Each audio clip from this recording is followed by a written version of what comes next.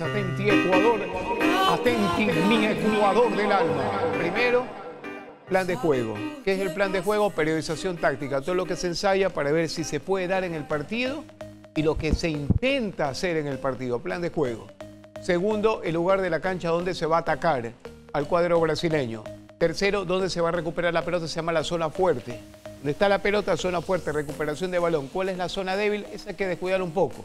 Porque si se recupera la pelota en la zona fuerte y se crea superioridad, ¿para qué se necesitan las posibles ofertas de pase? ¿Flamengo va a venir a atacar? Sí.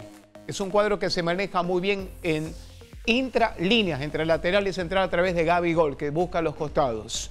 ¿Va a venir de Rascaeta? Posiblemente. Eh, Felipe Luis es un jugador que le rompe la línea sobre el costado y toma bien afuera los extremos y laterales. Tiene buen pase también, pero Barcelona tiene mística. Intentará el cuadro en la mitad de la cancha controlar las primeras instancias del partido para cerrar las circunstancias del mismo, para desarrollar primer acto, primera escena. Se imprime. Se imprime.